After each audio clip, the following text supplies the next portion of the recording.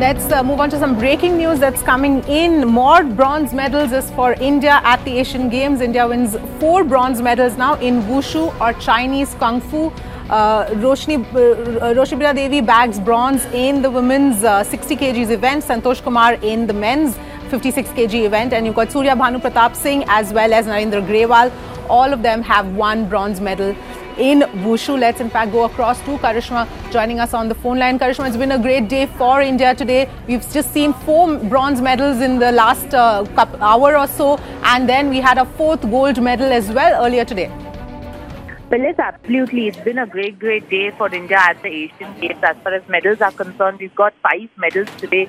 One of them is gold. Rahi Sarnobat, you know, having a shoot of a lifetime, surviving two shoot-offs to win that gold medal and eventually added to the medal tally of, you know, uh, four gold medals and now four bronze medals in Wushu. In fact, you know, that may not be a medal, but the Indian hockey team beating Hong Kong 26 and breaking a record uh, from 1982. That also is, you know, a part of the good results that we're talking about uh, right now. But four bronze medals from Wushu and one gold medal uh, from shooting to they have added to India's medal tally and uh, have taken us on the sixth place at the medal table.